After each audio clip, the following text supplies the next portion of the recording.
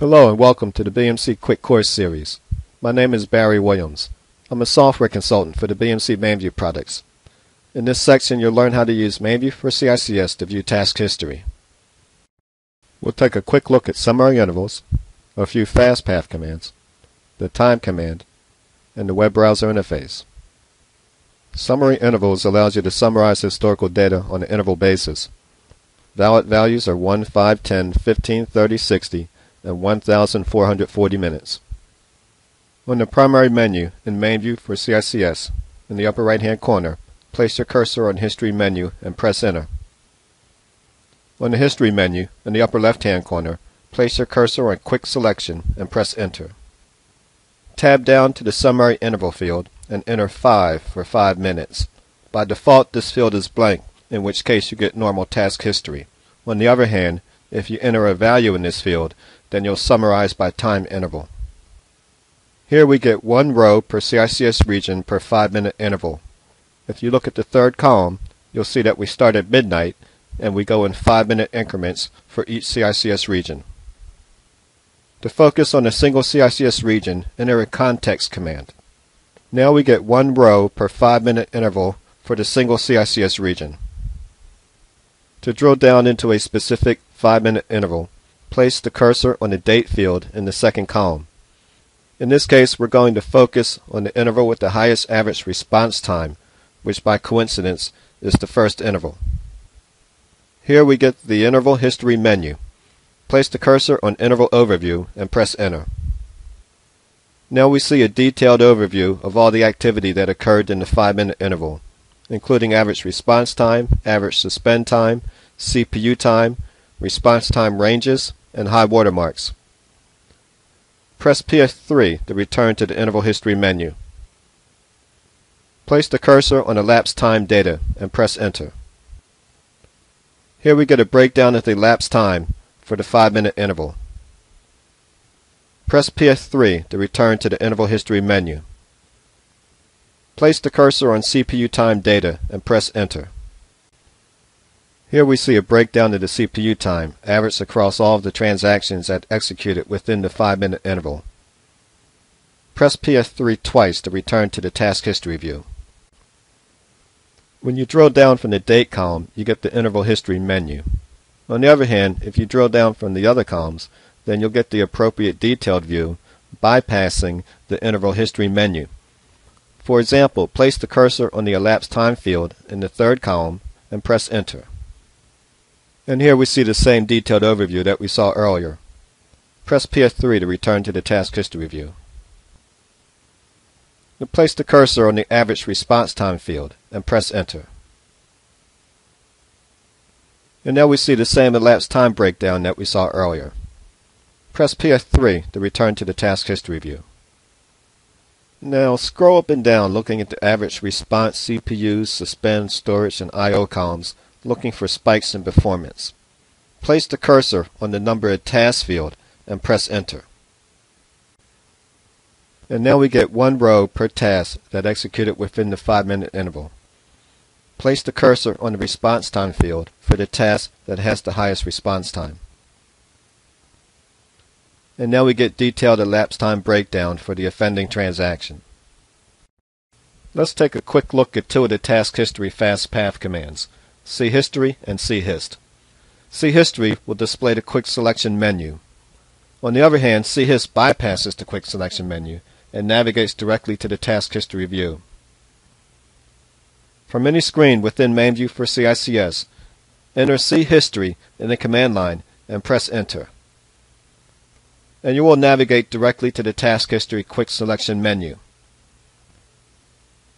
On the other hand, if you enter chist in the command line and press enter, you will navigate directly to task history, bypassing the quick selection menu, starting at midnight of the current day by default. Let's take a look at a few examples of using the time command with task history.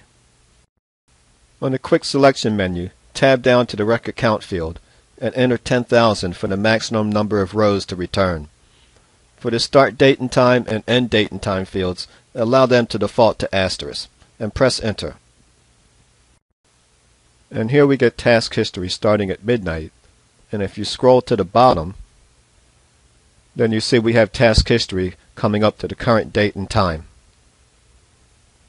On the other hand, if we return to the quick selection menu and clear out the start date and time, then instead of starting at midnight, then it will return the last interval of history, by default the last 15 minutes. In this case, you may get a message saying there is no data that satisfies your request, indicating there were no tasks that executed within the last 15 minutes. Now, of course, you may not see this in a high volume production system, but you may see it in a low volume system or a test system, or in this case, a demo system. You may also see a low number of results.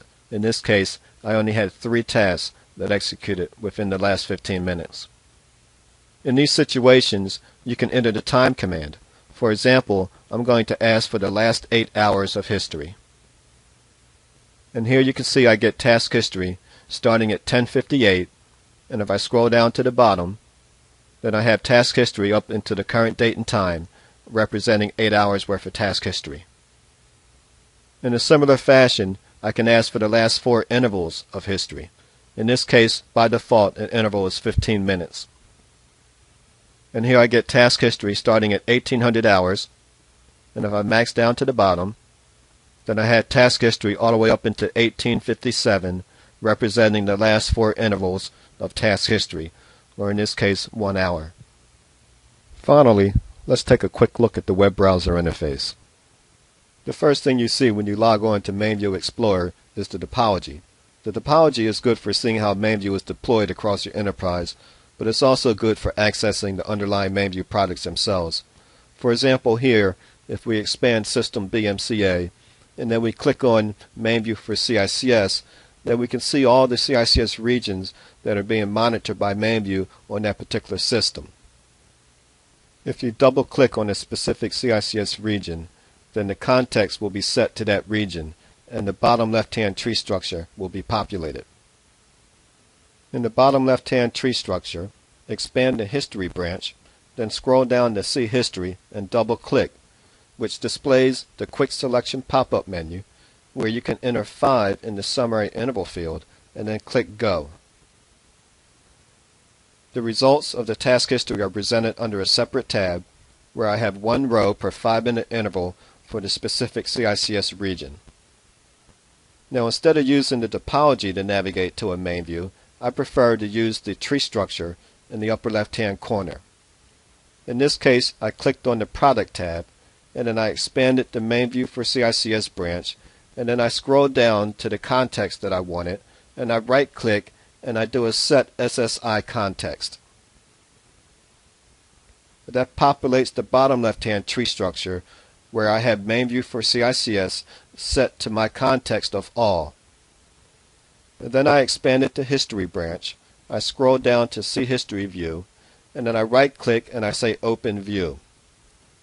The results are presented under a separate tab, a CHIST tab, where I can see that I have all of my history for all of my CICS regions. To export the task history into a CSV file, then click on the Export View Data tool on the toolbar. That's the cylinder with a blue arrow on top. You'll get a pop-up window asking for a target file name, and then click Save. That'll store a CSV file, and here I'm using Windows Explorer to open that file into Microsoft Excel. And here we can see the result in Microsoft Excel that we have all of our task history in a CSV file. For more information, please visit the BMC support site.